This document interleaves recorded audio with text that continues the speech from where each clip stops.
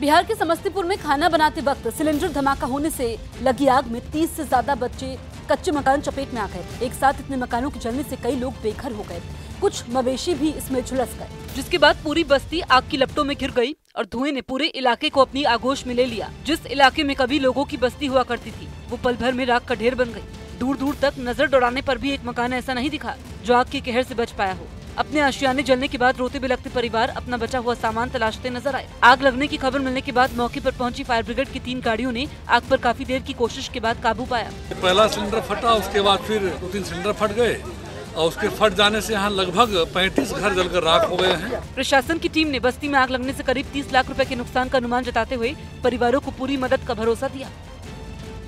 हिमाचल प्रदेश में लगातार हो रही बर्फबारी ने लोगों की मुश्किलें बढ़ा दी हैं। आधे हिमाचल में सफ़ेद कर्फ्यू जैसे हालात हैं, क्योंकि बर्फबारी की वजह से पाँच नेशनल हाईवे और 500 के करीब छोटी बड़ी सड़कें बंद हो गई। जबकि लोगों को अब भी राहत मिलती नहीं दिख रही है। हिमाचल के कई इलाकों में बेतहाशा बर्फबारी का सिलसिला जारी है। शिमला, चंबा, नारकंडा, मनाली और धर्मशाला में तो रुक रुक कर बर्फबारी की वजह से सड़कें पूरी तरह बर्फ़ से ढक चुकी हैं, जबकि लोगों के घरों और बाहर खड़ी गाड़ियों पर बर्फ़ की मोटी चादर बिछ गई। कुफरी कुफरी से आगे नारकंडा खड़ा पत्थर और चौपाल। काफ़ी भारी जो है हिमपात इस समय हो रहा है। वहीं बर्फबारी के बीच घर से बाहर निकलने की कोशिश जान को खतरे में डालने जैसी साबित हो रही है, क्योंकि बर्फबारी के बाद सड़कों पर फिसलन इतनी ज़्यादा है कि एक खड़ी गाड़ी भी अपनी जगह से फिसलती देखी गई, जिसे काफ़ी मशक्कत के बाद लोगों ने संभाला। बर्फबारी के दौरान होने वाले हादसों को रोकने के लिए प्रशासन ने भी कमर कस ली और सड़क पर जमा बर्फ़ हटाने का काम शुरू कर दिया। ताकि गाड़ियों को फिसलने से बचाया जा सके। लेकिन बर्फबारी से लोगों को राहत मिलती नहीं दिख रही, क्योंकि मौसम विभाग के अनुमान के मुताबिक मौसम का मिजाज और बिगड़ेगा।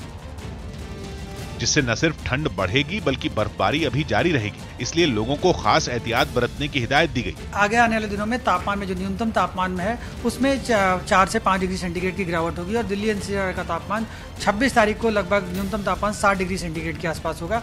हिमाचल के ज़्यादातर इलाकों में हो रही बर्फबारी की वजह से बिगड़े हालात का जायजा लेने के लिए हिमाचल प्रदेश के सीएम जयराम ठाकुर को घर से निकलना पड़ा। इस दौरान उन्होंने बर्फबारी के बाद पर्यटन बढ़ने की उम्मीद जताई। कृषि की दृष्टि से भी बहुत आवश्यक थी। आवश्यकता थी इसकी और और उसके साथ साथ में जो पर्यटक हैं उनके लिए तो बड़ी अच्छी खबर आई है। लेकिन बर्फबारी की वजह से इलाके के लोगों को बुनियादी जरूरतों के लिए परेशानी से दो चार होना पड़ा और ठंड की वजह से लोग आग जलाकर घर में दुबके रहने को मजबूर दिखे। ठंड तो सर काफ़ी हो गई है। बस आग जला के बैठ रहे हैं बस लकड़ियाँ जलाओ बस। अब लाइट है नहीं नहीं तो हीटर जला लेते हैं। हालाँकि इस दौरान बर्फबारी के बाद शिमला के मॉल रोड पर खूबसूरत नज़ारा दिखा। वहीं बर्फबारी के बीच सैलानियों ने मौसम का खूब मज़ा लिया और बर्फ़ में खेलते नज़र आए। उधर जम्मू कश्मीर में कई दिनों से जारी बर्फबारी अब भी जारी जबकि कई जगह ज़मीन खिसकने की वजह से जम्मू कश्मीर हाईवे पर जम्मू श्रीनगर हाईवे पर आवाजाही पूरी तरह ठप हो गई। और बर्फबारी की वजह से सड़कें पेड़ गाड़ियाँ यहाँ तक कि घर भी बर्फ़ से ढके नज़र आए। सड़कों पर बर्फ़ की मोटी परत जमने की वजह से आम जनजीवन बुरी तरह प्रभावित हुआ। लोगों को रोज़मर्रा की जरूरतों के लिए जद्दोजहद करने की नौबत आ गई। बिजली न होने की वजह से थोड़ी दिक्कत परेशानी आ रही है हमें और जो मेन हाईवे है वो बंद हो चुकी है। कई दिनों ऐसी गिर रही बर्फ़ की वजह ऐसी कई इलाके पूरी तरह वीरान दिखे। बर्फबारी से बिगड़े हालात की वजह से वहाँ स्कूल और सरकारी दफ्तरों को भी बंद करने का ऐलान कर दिया गया। एडवाइजरीज इशू की हैं कि लोग अपने घरों से ना निकले और अपने घर में ही रहें ताकि उनकी सेफ्टी बरकरार रहे। कुछ इलाकों में बर्फ़ के साथ हल्की बारिश से सड़कों पर फिसलन बढ़ गई इसलिए मशीन के ज़रिए सड़कों पर जमी बर्फ़ हटाने की कोशिश की गई। जबकि बर्फबारी के बाद कड़ाके की ठंड ने लोगों का जीना मुहाल कर दिया लेकिन घाटी के किसानों के चेहरे भारी बर्फबारी की वजह से खिल गए।